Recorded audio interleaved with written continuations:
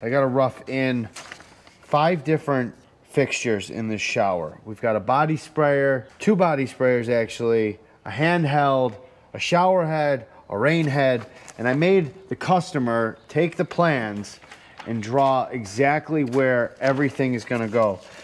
And the valve that we're gonna be installing along with it is this electronic Kohler valve. Now it's got six ports coming out the side of it. We're only gonna use five. We'll block off the sixth.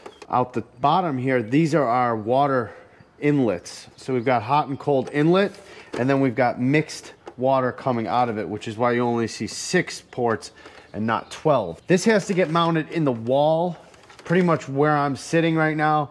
And then all of the shower fixtures need to be installed. It's gonna require blocking and starting to lay out all these different things. And I just don't know if this is gonna fit in the wall. There's so much going on inside this shower. It's like, it's gonna be like our car wash in here. There's so many things. Man, I sound like a freaking complainer. The hell they want them so close together for? I don't understand people sometimes. So one of the things that's tricky about these shower sprayers I'll show you.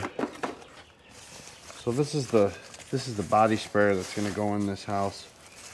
I don't want to scratch it, so I'm going to be very careful with this. There's our very very brassy looking, brassy but sassy. And then this is the receiver that's got to go. This is the part that's got to have some some coordination as far as the depth of it in the wall.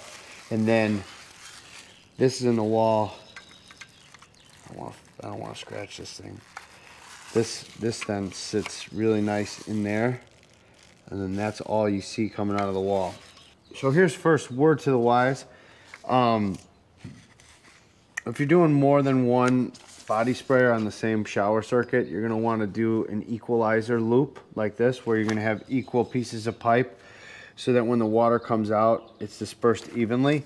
If you have extra ports on your valve, like I got six ports on this valve, there makes zero sense to try to do that equalizer loop. Instead, we're just gonna zone out each of the body sprayers so that we don't have any water pressure problems.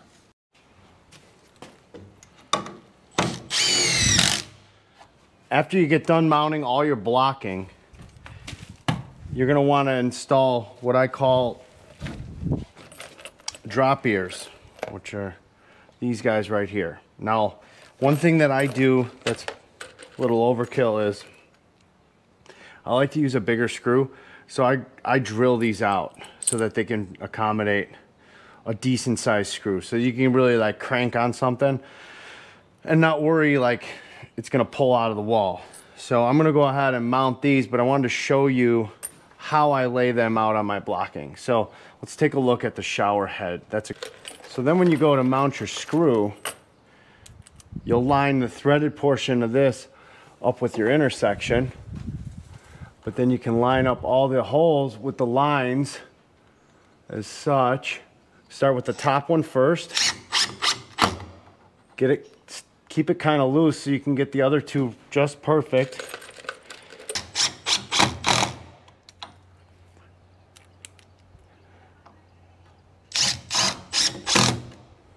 Tighten down the other side real good. Okay, that's it. Don't over tighten it, but that's it. Now this block is loose and here's why it's loose. I will then come back with my square. So I leave this block loose until I get this dude in place. Until I can guarantee that I've got a half inch of this sticking through the wall.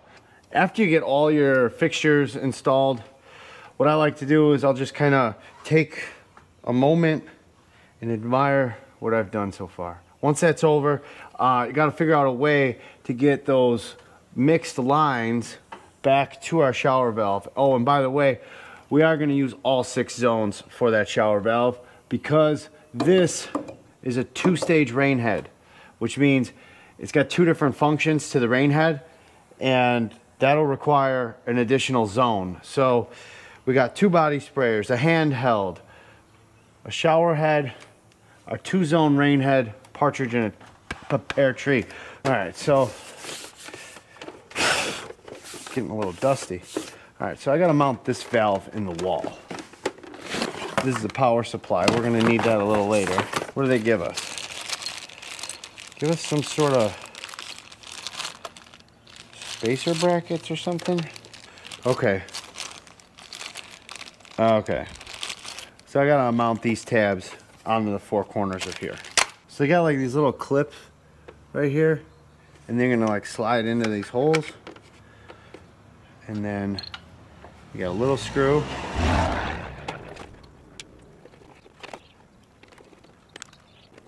All right, I got those brackets. That'll make it real easy to mount.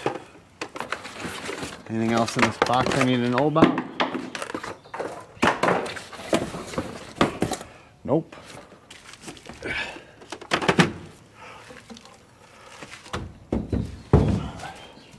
I'm really getting sick of working on my knees.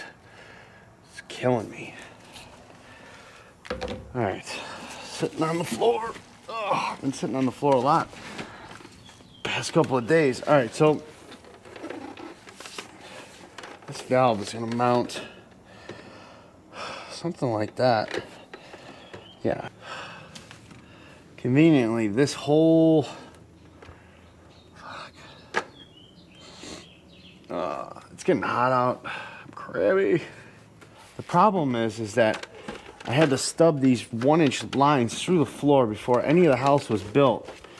And I'm pretty sure I'm right on the money as far as enough in the back, but let's just take a measurement of where these actually ended up. So they ended up about a half an inch back. So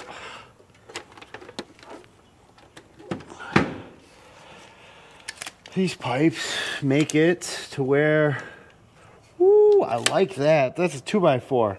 Son of a gun. Okay, so I'm gonna mount some two by fours on the back here and then we should be able to cut these PEX pipes. I got some quick connectors. We're gonna slam it together.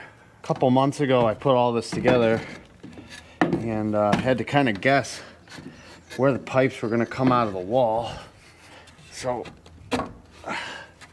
but I planned for something nice and solid, like, like a two by four, to mount this sucker to.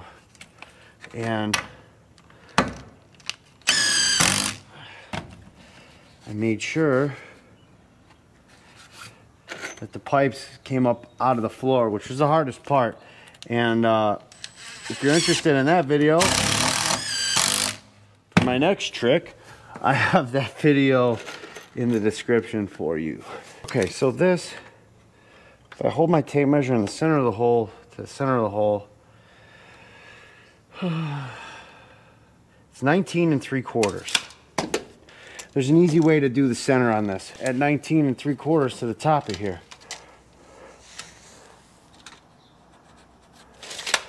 And then you take your next block and you set that at your top height. So after you get the blocks mounted, check your heights and we're gonna mount up really nice. But we got a problem. We've got these all need to be blasted out. So I'm gonna show you a way that I like to do that. So then I'll take my drill bit and I center the, the, the guide or the uh, screw point or drill point, whatever you want to call it, right? In the middle of the stud. We're gonna take it down. Oh, and by the way, this, this is an inch, the cylinder. So once this metal is flush with the rest of the stud, we're done.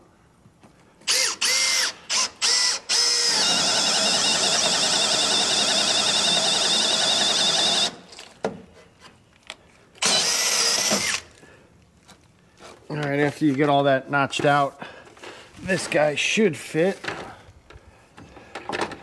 right in place. Oh yeah, that's gonna, and what I'm looking for is I wanna make sure that I got plenty of room behind these brass fittings so that when I slide my PEX on, or my, my PEX connectors, everything works out. Sometimes it don't work out, but in this case, it's absolutely gonna work out. Everything has got plenty of room. Now the next step, I gotta cut these And then I got some quick connectors to, to go in place. So I will preload the quick connectors onto here. Let me go get those. I'm stuck. Ugh. Damn tiny house. It's got me again. Did I mention it's like 87 degrees out today? Probably can tell by my sweaty face. So I got some ice cream sandwiches this morning. Knew I'd be overheating a little bit.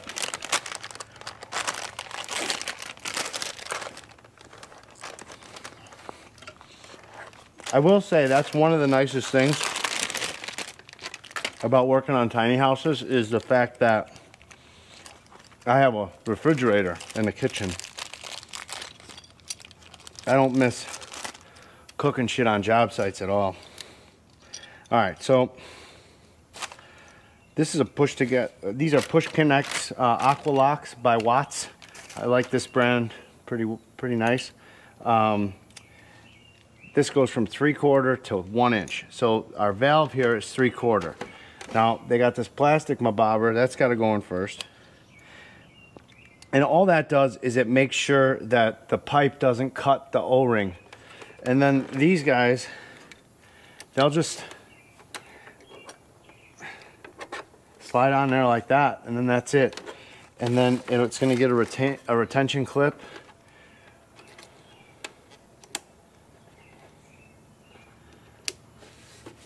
And then that's it. It's, it works like a Chinese finger trap. I like these for this type of stuff because if you need to service it, it's really easy to service the valve without trying to like sweat and unsweat a bunch of crap. But I'm sure somebody will have something stupid to say about it, but they don't leak and I like them. So there's that. It's really easy to trim this crap out too. Sometimes you're gonna check if that little plastic thing is bouncing around, then it's not in all the way. But those are definitely those are in. All right. For the other side, I just got to cut them level. For that, use a cigar cutter. I'm to cut it a little lower and get the uh, caps off of here. Oh, that's a beautiful sound. Do you know what I just heard? I pressurized this thing like three months ago. All right. This is probably my least favorite LaCroix is this mango. Um, oh, it's like taking a shot of hard liquor. I don't even drink. Um, but I imagine, well, I mean, I used to drink a lot. Now I'm sober. And sober is much better. Moment of truth. Where are my little top hats? Here's one. It's gotta go on there. Where's another one? This is the worst thing about tiny houses is like always caught sitting down. Okay, do I got my locks on? I do now. All right, then we gotta send these home.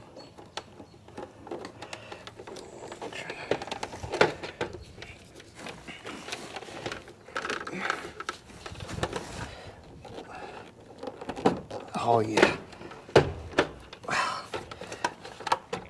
Yeah. Oh yeah. That is like as clutch as it gets. Take a look at that. There's our valve in the wall and see why those connectors work so well. They just click clack. We done. Now I gotta run all the pipes. But this part's pretty simple. I'm really excited I got this done. At least got it this far. I gotta send some screws, mount this sucker up. And then from here, I just gotta run my PEX, which is really simple. And uh, I got videos about that. But today is super hot. Cheers to everybody working outside. See you tomorrow.